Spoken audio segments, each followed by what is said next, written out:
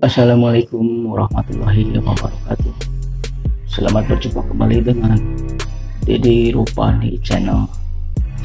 Kesempatan ini request teman saya Yang katanya dia menderita insomnia atau susah tidur. Gimana caranya? Pertama-tama kita akan lihat titik refleksi yang ada di telapak tangan dan di punggung tangan. Terserah yang mana dulu apa yang kiri dulu atau yang kanan dulu. Kita beritahu aja langsung ya. Titik-titik refleksi kepala.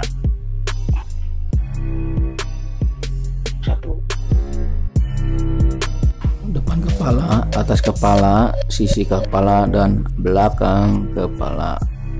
Ini titik refleksi liver.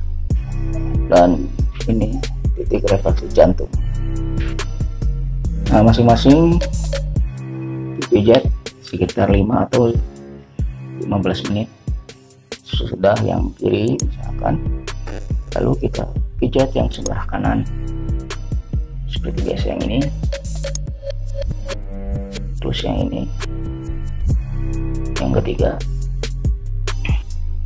empat. Kelima. Refleksi. Paper. Terus yang keenam tik refleksi jantung. Semuanya dipijat antara 5 sampai 15 menit atau 10 menit juga nggak apa-apa. Lakukan selama tiga hari atau satu minggu. Mudah-mudahan masalah susah tidur bisa terselesaikan dan bisa tidur pulas.